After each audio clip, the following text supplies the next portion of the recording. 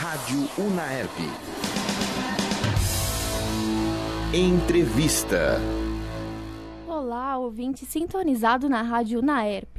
Meu nome é Daniele Nader e a partir de agora você acompanha a Rádio Unaerp Entrevista. Hoje vamos fazer um bate-papo com uma moradora que faz a diferença em Ribeirão Preto. Ela é guarda municipal na Patrulha Ambiental de Ribeirão Preto, ecodesign e formada em gestão ambiental. E tem mais. Além de ser tudo isso, ela arruma tempo livre para reciclar lixo que tira das ruas e colocar o pé, mão e o que for preciso para transformar borracha em arte. Seja bem-vinda, Kelly Cristina da Silva. Obrigada, boa tarde.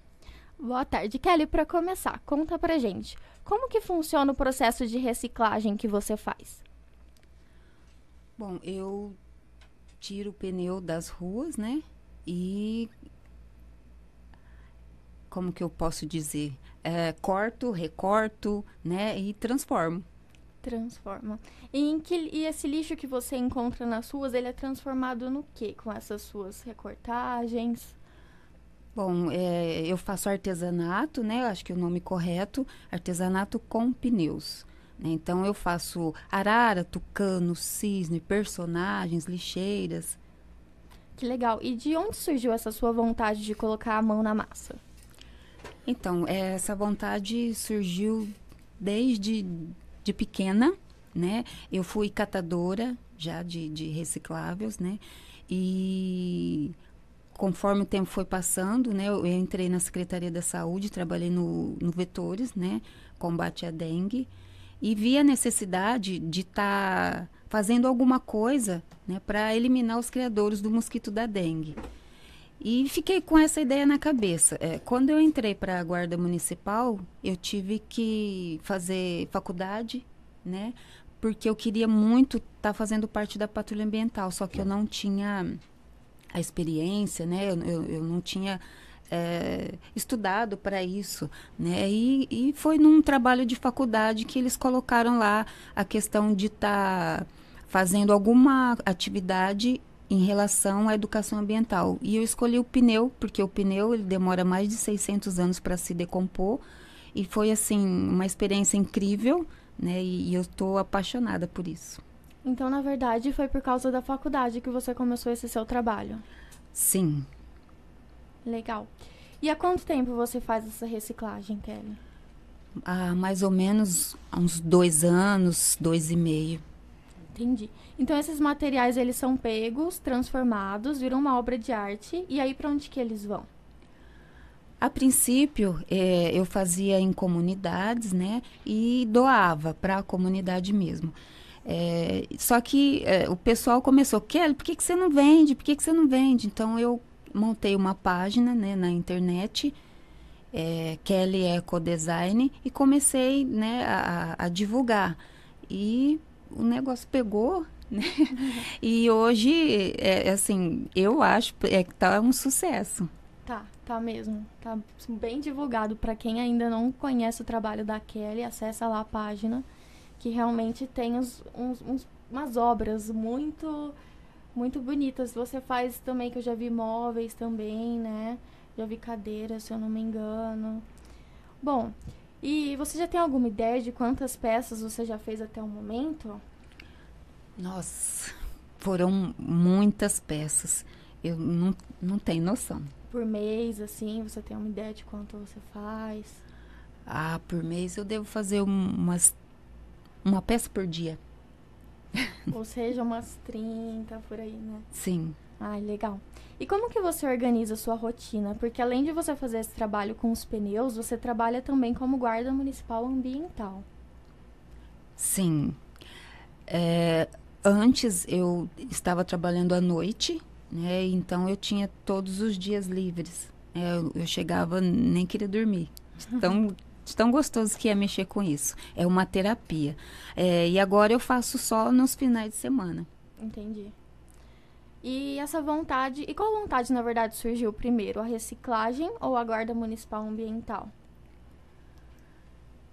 A reciclagem, ela surgiu primeiro, só que eu não optei em fazê-la, Uhum. Né? Então, depois Você que. Com a faculdade mesmo. Sim, depois Tá. que eu entrei na guarda, que eu fiz a faculdade, é que abriu né, a, a mente e eu vi a possibilidade de estar realizando é, esse trabalho. E além de transformar, você ainda faz um trabalho de conscientização, né? Espalhando sua arte pela cidade. Como que funciona isso?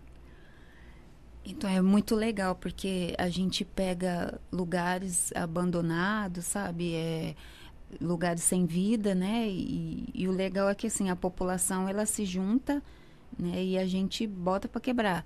E eu tenho uma uma experiência na Lagoa do Saibro. Lá a gente fez lixeiras, né? E eu usei o tema da Liga da Justiça, então Super Homem, Mulher Maravilha, Batman é, Homem de Ferro, estão todos lá como lixeiras para chamar a atenção da população né, que mora ali ao redor em estar tá colocando o lixo dentro das lixeiras.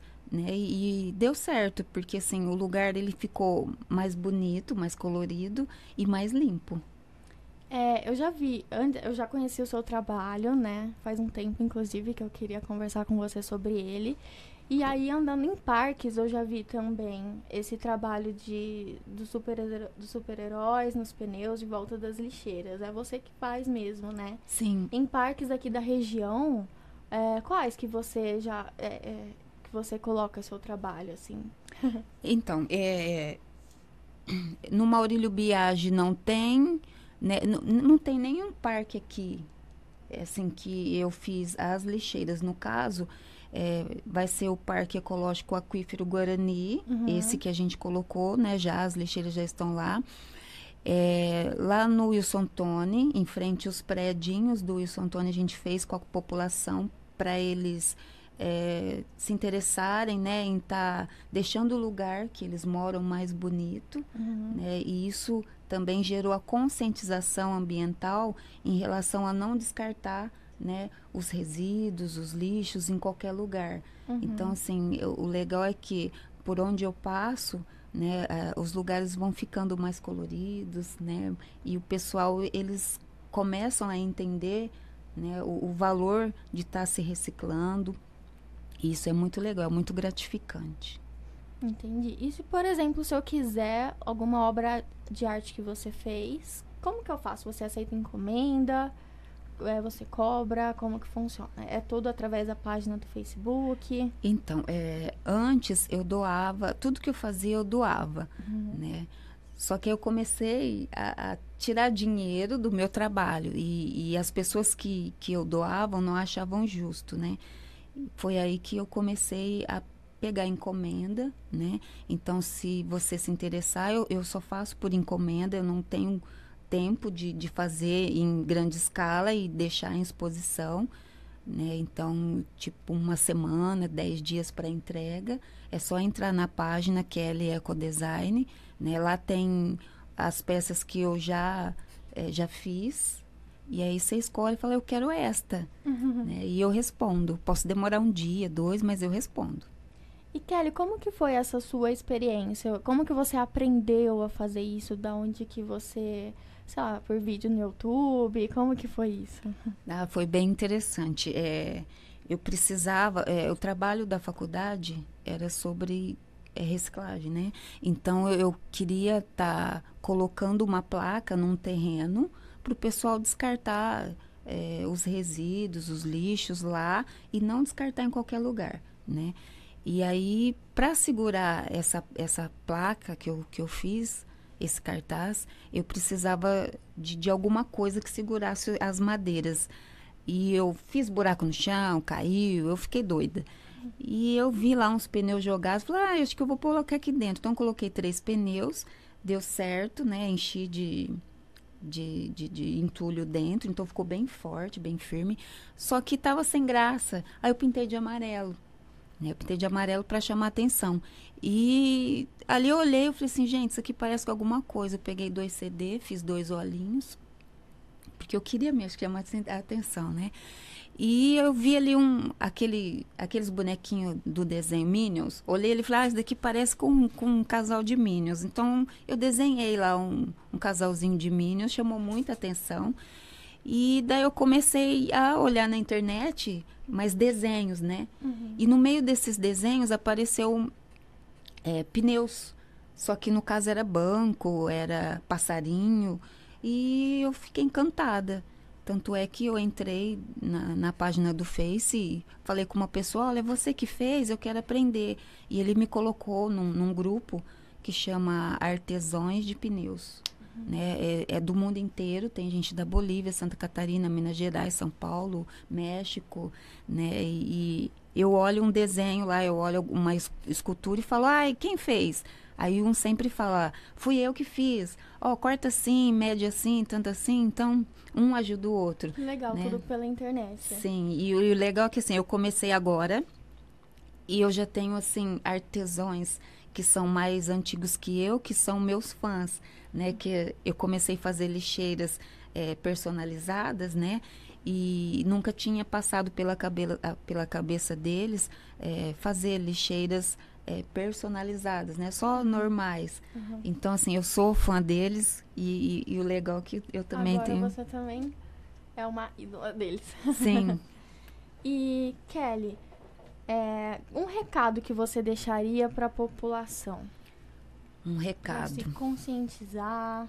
Sim, é nós precisamos cuidar né, do meio ambiente, a gente precisa cuidar do nosso planeta, porque o ar que a gente respira vem dele, a água que a gente bebe vem dele, né, a comida que a gente come, e eu acho que ele não está sendo, o meio ambiente não está sendo a prioridade né, do cidadão, do, do país, do mundo. É, a gente está acabando com os recursos do planeta né, e a gente depende muito disso. Né? A gente só vive porque existe o meio ambiente. Então eu peço aí para que todos né, ponham a mão na consciência, vamos rever né, os nossos conceitos, vamos reciclar, vamos pensar né, em cuidar mais do meio ambiente. Bom, então é isso. Trazendo um dado aqui do Serviço Social de, do Transporte, para se ter uma ideia, como a Kelly, a, aliás, até citou aqui mais cedo, pelo menos 450 mil, to mil toneladas de pneus são descartados por ano. E isso equivale a cerca de 90 milhões de unidades utilizadas em carros de passeio. E o pior é quando o descarte é feito de forma errada. Aí os pneus eles se tornam um problema para o meio ambiente. Eles demoram em média, como a Kelly disse, 600 anos para se decompor na natureza. E isso quando eles não viram criadores do mosquito Aedes aegypti, Zika e chikungunya. Inclusive, Kelly, você também fez um trabalho relacionado a isso, não fez na Feira do Livro? Sobre Aedes aegypti. Então, é, na Feira do Livro, a gente. Eu, eu até me vesti de mosquito da dengue, não nessa última edição, uhum. né? E foi, foi bem legal, porque eu saía picando todo mundo, uhum. né? e o pessoal que os educadores né que estavam lá para estar tá, é, conscientizando a população eles mostravam né a importância eles, eles tinham lá a, o mosquito da dengue né para o pessoal ver como é que era para o pessoal conhecer e, e, a gente ensinou eles que não podia deixar a água parada, tanto no pneu quanto no pratinho de planta. Tanto é que depois desse, de, de, desse evento, né, diminuiu bastante os casos de dengue na cidade, porque a gente teve um surto muito grande, acho que foi em 2010, né, foi muito grande. E eu, eu fico feliz de estar tá contribuindo né, para tirar os pneus das ruas né, e também com o mosquito da dengue. Né?